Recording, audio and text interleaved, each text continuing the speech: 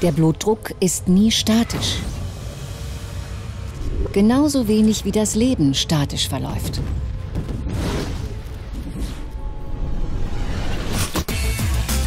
Ob körperliche Kraft oder psychische Erregung, beides erfordert Energie. Der Blutdruck reagiert darauf dynamisch. Allein schafft das Herz das nicht. Nervengeflechte in den Gefäßen und bestimmte Hormone regulieren sehr fein abgestimmt die Gefäßweite und somit den Blutdruck. Was passiert im Körper, wenn der Blutdruck entgleist? Dazu muss man wissen, wie der Blutdruck unter normalen Umständen funktioniert. Tatsächlich verfügt der Organismus gleich über mehrere regulative Systeme. Die sorgen dafür, dass der Druck in den Arterien bei körperlicher Aktivität, seelischem Stress oder in Ruhe gleichbleibend für eine gute Durchblutung der Organe sorgt. Wissenschaftler nennen es die Autoregulation. Sie beginnt bereits in dem Augenblick, wenn die Blutwelle das Herz verlässt. Die Aorta nimmt den Blutschwall auf und reagiert sofort mit einem Gegendruck. Dafür verantwortlich sind Nervenzellen, die sowohl in der Aorta als auch in den Arterien des Brustraums und der Halsschlagader sitzen. Es sind Drucksinneskörperchen, auch Barorezeptoren genannt. Ununterbrochen registrieren sie den Druck des Blutes auf die Gefäßwand und melden die Informationen dem zentralen Nervensystem. Die Antwort kommt prompt. Die Arterien ziehen sich zusammen oder erweitern sich nach Bedarf. Somit ist ein gleichmäßiger Blutstrom gewährleistet. Wenn man sich die, die, Blutdruckwerte ansieht, dann kann man nicht sicher sagen, welche Ursache der Blutdruck im Einzelfall hat. Man kann nur sagen, hohe obere Blutdruckwerte, systolische Blutdruckwerte sprechen für einen Elastizitätsverlust des Gefäßsystems. Und das ist natürlich bei den alten Patienten viel häufiger. Erhöhte untere Blutdruckwerte findet man häufig bei Nierenerkrankungen beispielsweise.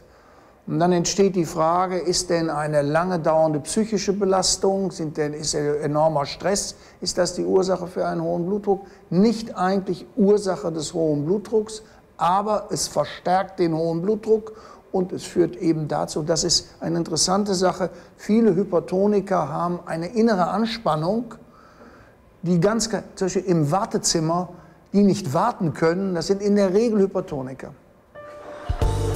Doch wann spricht man von einem Bluthochdruck? Wann ist er behandlungsbedürftig?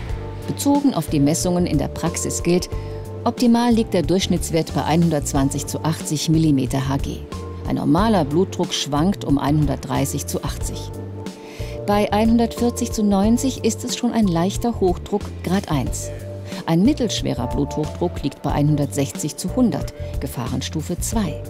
Ein schwerer Bluthochdruck beginnt ab 180 zu 110, also Gefahrenstufe 3.